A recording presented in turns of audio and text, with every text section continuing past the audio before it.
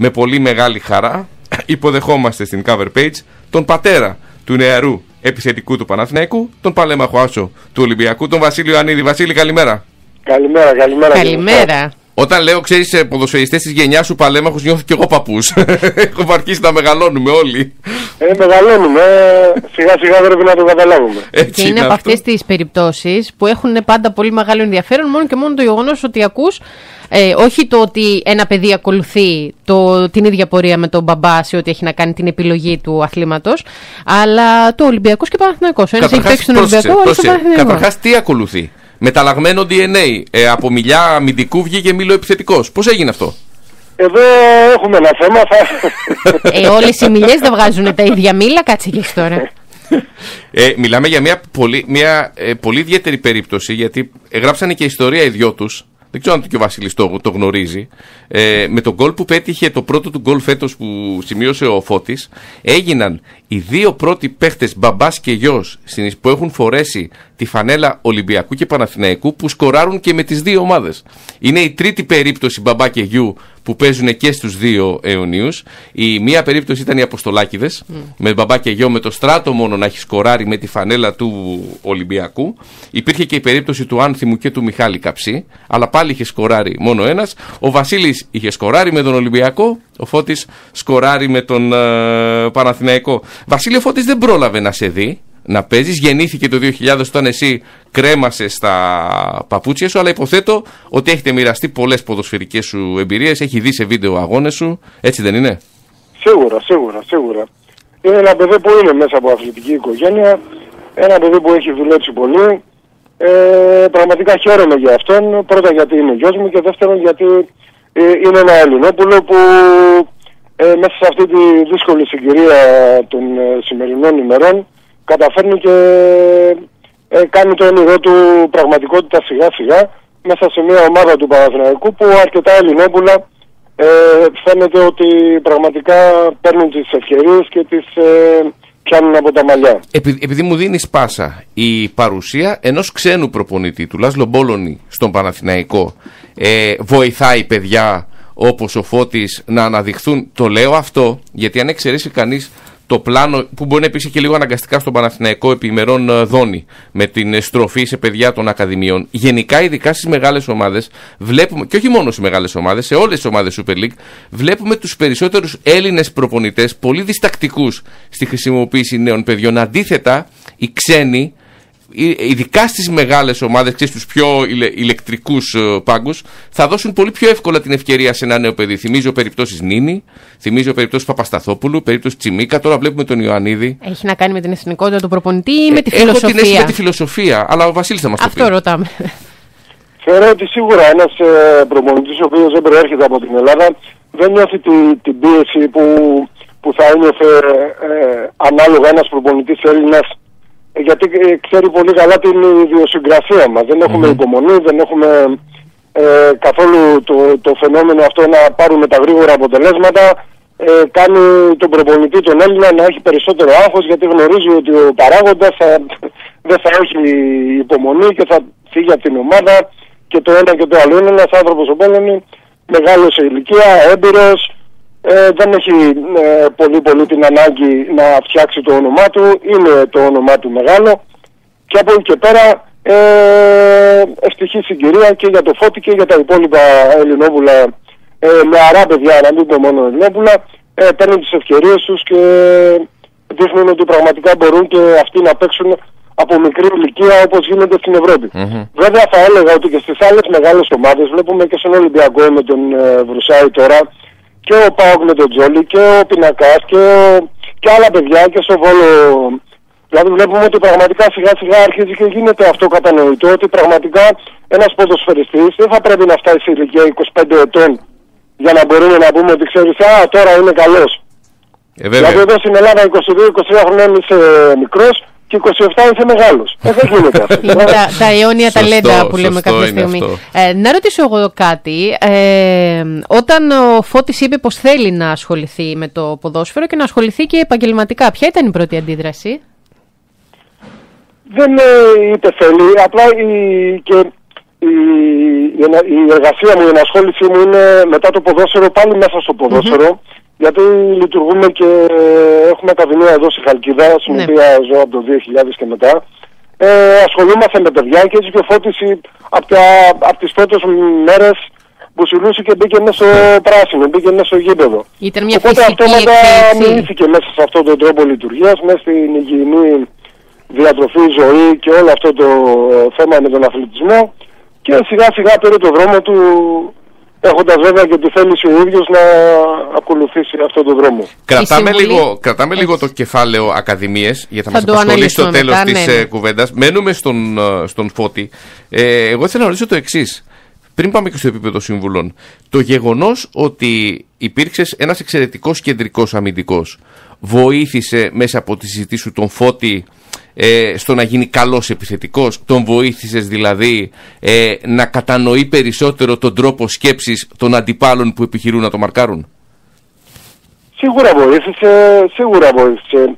Ε, απλά θέλω να πω είναι ένα παιδί με ισχυρή προσωπικότητα, έχει τις δικές του απόψεις, από μικρό παιδί συζητάμε και τακτικά και τεχνικά και θέματα που αφορούν το ποδόσφαιρο και γενικώς διάφορα θέματα ε, έχει δική του άποψη την οποία θα, ε, θα τη διεκδικήσει μέχρι το τέλος.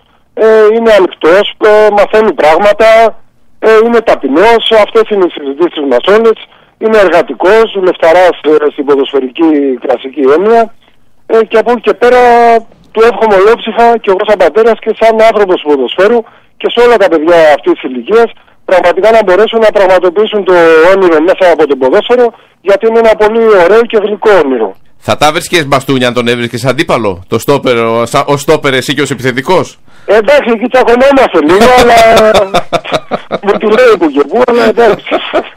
Ναι, γιατί είναι και πάντα οι ισορροπίες ανάμεσα σε γονείς και παιδιά πολύ λεπτές. Πόσο μάλλον όταν ε, και οι δύο ασχολούνται με το ίδιο αντικείμενο.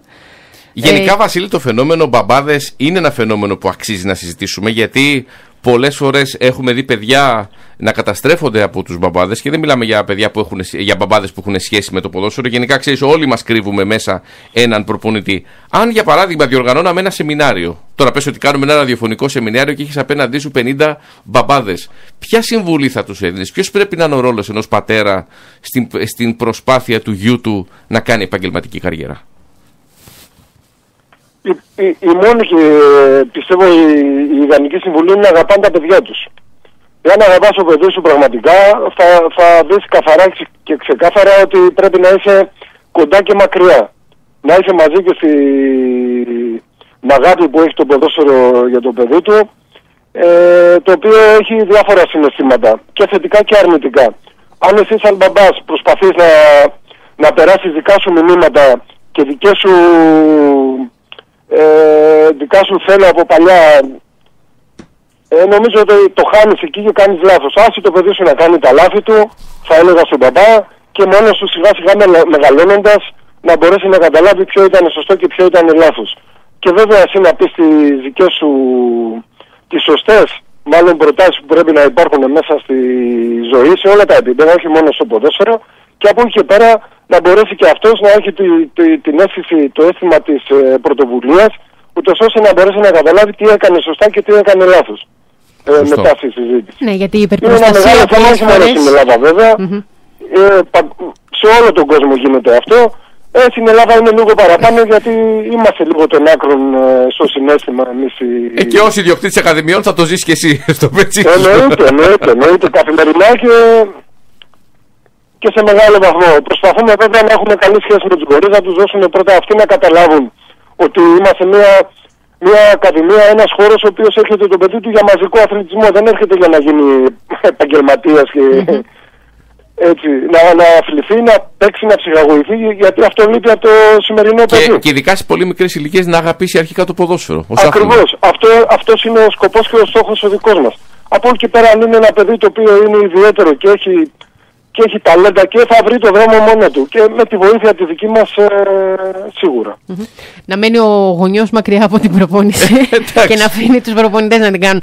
Ε, πώς είναι ως, από έναν ε, πρώην παίκτη του Ολυμπιακού να βλέπει ε, φανατικά φαντάζομαι πλέον μάτς του Παναθηναϊκού και να πανηγυρίζει ή να ε, ζητάει να κερδίζει η ομάδα του; Εντάξει πλέον είμαστε και σε μια ηλικία που δεν δεν ε, ε, μπαίνει μέσα το ιδιαίτερο συνέστημα του, του, του, με το παδιλίκι θα ήθελα να πω. Ε, ναι, αυτή τη στιγμή το, το παιδί μου παίζει σε μια ομάδα. Ε, χαίρομαι που πάει καλά, θέλω να πάει καλά και από εκεί και πέρα ε, έτσι το βλέπω. Και μάλιστα Βασίλη είναι και σε μια περίοδο του Παναθηναϊκού παραπλήσια λίγο με την περίοδο που πήγες εσύ στον Ολυμπιακό δηλαδή είναι σε μια ε, περίοδο ξηρασίας σε επίπεδο τίτλων. Πόσο δύσκολο αλήθεια είναι ε, να πρέπει να σηκώσεις το βάρος της φανέλας ενός τόσο μεγάλου κλαμπ όπως είναι είτε ο Παναθηναϊκός είτε ο Ολυμπιακός σε μια τέτοια χρονική στιγμή που η ομάδα καλείται σιγά σιγά να ξαναχτίσει και να επιστρέψει στα πρωταθλήματα; Αυτό δεν το καταλαβαίνεις αν δεν ε, έχεις ε, ζήσει μέσα στην οικογένεια αυτών των ομάδων. Ε, όταν είσαι απ' έξω δεν είναι εύκολο να μπορείς να το καταλάβεις και πιστεύω ότι σιγά σιγά αρχίζει και το καταλαβαίνει και ο Φώτης αυτό και όλα τα νέα παιδιά με την έννοια πια ότι πραγματικά είναι μεγάλη και βαριά η φανέλα του Ολυμπιακού, του Παραθυναϊκού και των άλλων ομάδων ε, ιδιαίτερα αυτό είναι δύο κλαμπ, το, το, το Αθηναϊκό ντέρμπι θα ναι, ναι. Έλεγα από εκεί και πέρα ε, πιστεύω ότι προσαρμόστηκε γρήγορα. Κατάλαβε γιατί συζητάγαμε, μου λέει τα πάλι ρυθμοί, άλλο αυτό, άλλο εκείνο. Ε, σιγά σιγά το κατάλαβε και, και πατάει καλύτερα όπως και όλα τα νέα παιδιά θέλουν τον χρόνο τους για να μπορέσουν να προσαρμοστούν στις ιδιαίτερες συνθήκες των μεγάλων αυτών ομάδων. Το οποίο ε, γενικά αυτές οι συνθήκες ε, συνολικά στο ελληνικό ποδόσφαιρο, αυτή την 20 ετία που έχει μεσολαβήσει από το δικό σου κλείσιμο, από το, καριέ, από το κλείσιμο της δικής σου καριέρας στο ξεκίνημα της καριέρας του Φώτη. Τι βλέπεις να έχει αλλάξει, σε ποιους τομείς θεωρείς ότι έχουμε κάνει βήματα προς τα μπροστά και σε ποιους τομείς κάνουμε βήματα με όπισθεν ολοταχώς. Σίγουρα έχουν έρθει καινούργια πράγματα. Η τεχνολογία έχει μπει και στο ποδόσφαιρο, το οποίο, είναι, το οποίο είναι πάρα πολύ σημαντικό αυτό το κομμάτι που βοηθάει πάρα πολύ. Βλέπεις ανά πάσα στιγμή πόσο τρέχει ο ένας, τι κάνει, αν περπατάει, αν αυτό, αν εκείνο.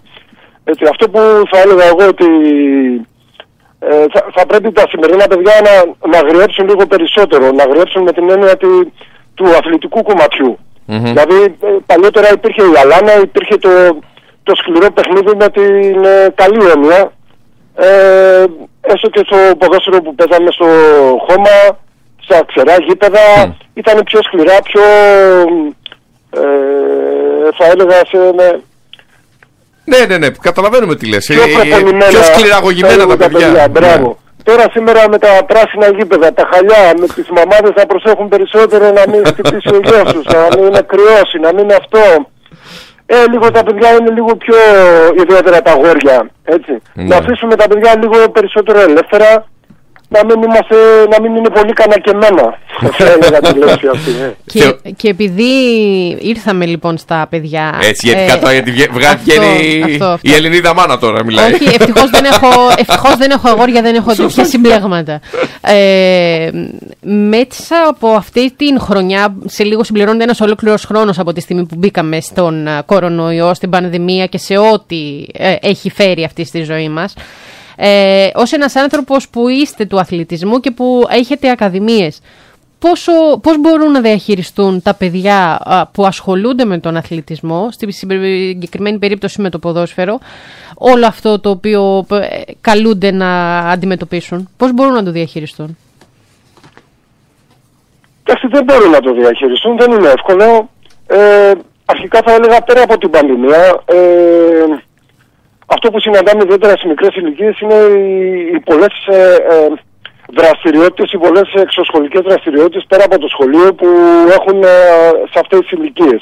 Δηλαδή θα ξεκινήσουν από πολύ μικρά παιδιά, το, τα αγγλικά, τα γαλλικά, το πιάνο, το έτσι, το άλλο, ε, πράγματα τα οποία ναι μεν δεν βοηθούν όμως ε, σε αυτό που είναι σημαντικό για τα παιδιά να παίξουν. Mm-hmm. Δηλαδή βλέπεις στις βόρειες χώρες και προχθές διάβαζα μια μελέτη στη Φιλανδία ε, τα παιδιά κάνουν 20 ώρες τη βδομάδα μάθημα, δεν παίρνουν τα, ε, ναι. τις, ε, Μαθήματα στο σπίτι. Και το φιλανδικό θεωρείται ένα από τα ναι. πρότυπα Ακριβώς. προγράμματα. Και, και έτσι λοιπόν έχουν πάρα πολλές δραστηριότητες και έχουν ελεύθερο χρόνο να παίξουν, να ανέβουν στα δέντρα, να, να πηδήξουν, να, να χτυπήσουν, να κλάψουν, να γελάσουν. Τέλος πάντων να ανέβει το, να νιώσουν παιδιά. Πέρα... Να νιώσουν παιδιά δηλαδή. Να νιώσουν παιδιά. αυτό, αυτό λείπει. Έτσι, λοιπόν, να χαρούν την παιδική τους ηλικία.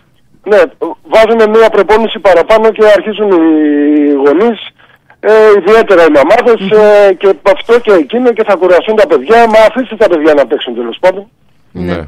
Υπάρχει ιδανική ηλικία για να ξεκινήσει ένα παιδί να ασχολείται με τον αθλητισμό; Ή όταν αρχίζει να περπατάει σιγά σιγά ασχολείται με τον αθλητισμό.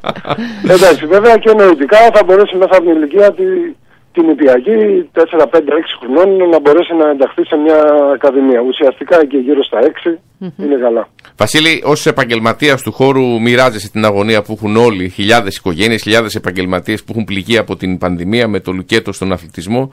Ε, Έχεις ε, την ελπίδα ότι σήμερα θα μπορέσουμε να φτάσουμε σε μια. να ακούσουμε όλοι ότι ξέρεις, προχωράμε σε άνοιγμα των ακαδημιών, σε άρση lockdown, ή φοβάσαι ότι με όσα ζούμε τις τελευταίες μέρες και βλέποντας κάποιους ανησυχητικούς δείκτες, φοβάσαι ότι θα συνεχίσουμε να έχουμε το λουκέτο; Πραγματικά θα το ήθελα πολύ και θα το θέλαμε όλοι οι άνθρωποι που ασχολούμαστε και ανήκουμε σε αυτό το χώρο. Βέβαια δεν είμαι πολύ αισιόδοξος ε, για το άνοιγμα. Ναι. Ε, από εκεί και πέρα θα ήθελα να πω ότι θα μπορούσαν ίσως να σκεφτούν λίγο διαφορετικά. Είναι ένα κομμάτι που μπορεί να βοηθήσει και στην ψυχική υγεία των παιδιών, ο αθλητισμός. Ε, είναι ένα κομμάτι το οποίο θα τα, θα τα βοηθήσει. Θα, θα τρέξουν τα παιδιά, θα ψυχαγωγηθούν. Πραγματικά όλη, όλος αυτός ο χώρος ε, του, αθλητισμού ε, έχει πειθαρχία που θα μπορούσε εύκολα να διευθετηθεί αυτό το θέμα του συγχρονισμού ε, μέσα στα γήπεδα. Είμαστε όλοι οι άνθρωποι οι οποίοι έχουμε ασχοληθεί με τον αθλητισμό. Ε, υπάρχει σοβαρότητα μέσα. Ε, βλέπεις τώρα έχουν ανοίξει τα σχολεία, είναι 20-25 παιδιά μέσα σε μία τάξη και σε ένα γήπεδο 20 παιδιά, 15 παιδιά δεν μπορούν να μπουν να κάνουν προπόνηση. Θεωρώ ναι. ότι ίσως ε, θα έπρεπε να το δουν διαφορετικά οι, οι επιστήμονες, οι λοιμοξιολόγοι αυτό το κομμάτι τουλάχιστον να μπορέσουν να βοηθήσουν τα παιδιά γιατί όλη μέρα είναι μέσα στο σπίτι, είναι μέσω υπολογιστή. Ε, πλέον υπάρχουν φαινόμενα και παχυσαρκίας ε, στο κομμάτι αυτό, αλλά και φαινόμενα που δεν, δεν θέλει το παιδί να ξεκολλήσει από το σπίτι, να βγει από τον υπολογιστή. Ναι. Αυτό δεν θα μπορέσει να αντιμετωπιστεί εύκολα και θα το δούμε τα επόμενα χρόνια με πολύ δυσάρεστα συνέπειες. Έτσι. Βασίλειο Ανίδης, ευχαριστούμε πάρα πολύ για την παρουσία σου εδώ στην cover page. Τα καλύτερα ε, και για εσάς και για όλη την για οικογένεια και για το γιο και για την κόρη. η οποία είναι μεγαλύτερη. Αυτές είναι οι προσωπικές ευχές. Ο καλύτερο που θα έλεγα εγώ είναι να υπάρξει ένα τέλος ε, σε αυτό το κομμάτι που απασχολεί την ανθρωπότητα και να μπορέσουμε να ξαναγερδίσουμε τις ε, ζωές μας. Έτσι είναι. Βασίλειο Ανίδης, σε ευχαριστούμε πάρα πολύ και κρατάμε τελευταία ευχή. Να είσαι καλά. Να είσαι καλά. Ευχαριστούμε πάρα πολύ.